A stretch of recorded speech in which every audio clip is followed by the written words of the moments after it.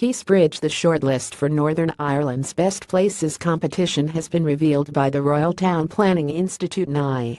The top venues nominated by the public have been whittled down to 10 local spots by a judging panel, with one winner to be announced in November.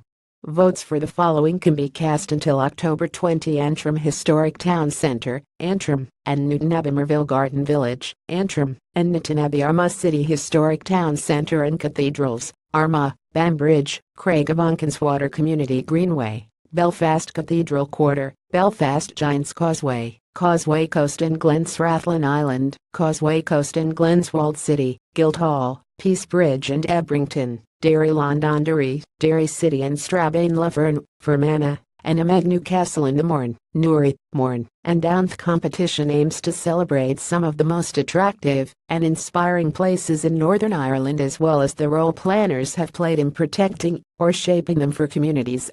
Rathlin Island Beverly Clyde, chair of RTPI Northern Ireland, said the competition has reminded us of the passion we have for places we love. The finalists, places clearly loved by the public, have been protected, carefully planned or improved by the planning system. I encourage everyone to get behind their favorite place to ensure it wins. Lefern to vote for your favorite. You can submit your vote online at www.rtpi.org.uk best places mail it to Northern Ireland Best Place at rtpi.org.uk tweet your vote for your chosen place, tagging RTPI Best Places Belfast Telegraph Digital.